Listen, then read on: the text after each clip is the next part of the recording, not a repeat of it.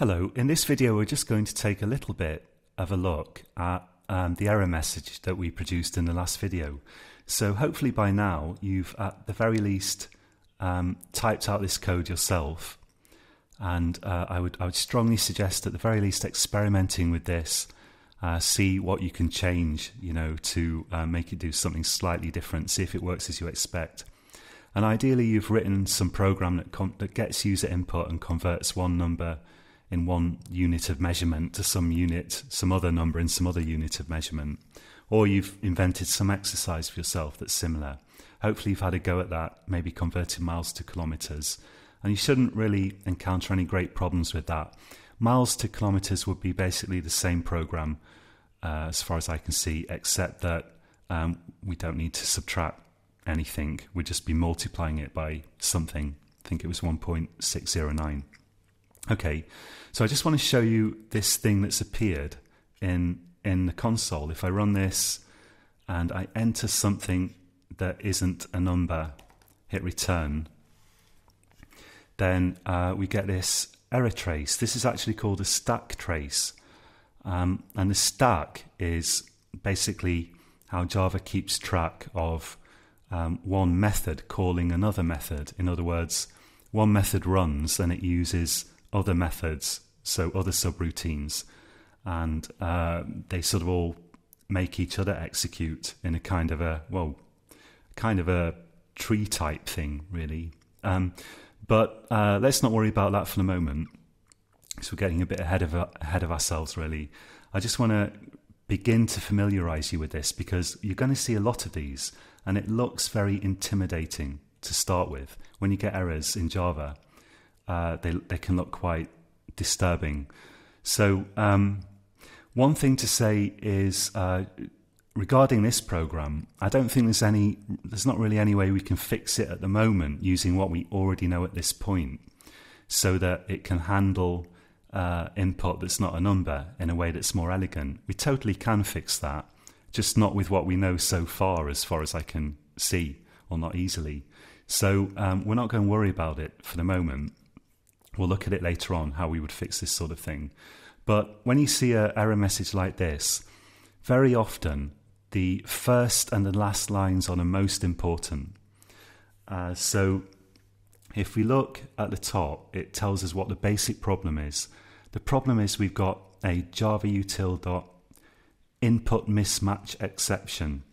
Now this is input mismatch exception is actually a class and what we have here is this is showing you that we say that an exception has been thrown, and we'll be looking at that later on. But you could guess from the name of it, input mismatch exception, that there's some sort of mismatch with the input that we've entered, which is, of course, the case. We entered letters when it was expecting a floating point number. The last line in this case actually gives us the error, it gives us the line and the file uh, where the error occurred. So, um, with really big stack traces, something that you can end up doing is sort of looking down them for the first line that it mentions uh, that's actually in your own code that you've actually written. You know, so you end up starting from the top and you're looking down it and you're looking at files that you haven't written yourself, and eventually you come to one that you have written yourself, and that's where you can start investigating the error. In this case, uh, there's only one line referring to our own code, and it's right at the bottom, and it's here at .java, line 13. So if I click on that, it will actually take me to the line. There we go, it's highlighted it, and that is where the error occurred. So we did scanner.next float, and that was expecting the user to, to input a float, but the user, me in this case, inputted some letters, so it threw a wobbly. It threw an exception, in fact, technically speaking. Wobbly is not a technical term. Okay. Um, we've also got a warning here in this program, and if we click on it, it says resource leak scanner is never closed. Now, that's not a big problem, but we shouldn't leave warnings in our programs. Uh, what it what it means is, well, it wants me to, all it wants me to do is what I'm about to show you, which is uh, this. Let's create a um, new line in our program. In fact, I can do this immediately after I've used the scanner, since I'm not going to use it again for anything, by this point in the program, line 14 here, I've, I've, I've just created a new blank line, of course, but I'm not using the scanner anymore. So I can write scanner dot close. And then the warning goes away, and that makes it happy. So, what scanner.close does precisely, I'm not completely sure, but um, I don't think it's important. It's not that important, but um, it will make the warning go away. So, I advise you to do it. Uh, closing things that we've opened in general is in general is very important in programming. Uh, in this particular case, perhaps not so important, but in general, it's a good thing to do.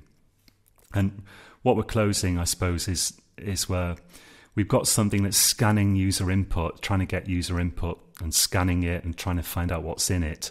That's what scanner does. It in this case, it's scanning system.in, trying to get stuff from system.in, uh, system.in, and it's trying to turn it. It's, it's looking for a number in that user input basically, and it didn't find one. And by closing it, I suppose we're, we're closing, I guess, system.in. I'm not really sure, but it, it doesn't matter. Okay, um, so we know where the error is. We can't fix it at the moment. We know that if you enter letters instead of a number, it throws an exception. And we're going to be looking at exceptions later on. But for now, uh, we'll, we'll just leave it as it is. Let's try it again now and check that it works. There we go, still working. Okay, so until next time, happy coding.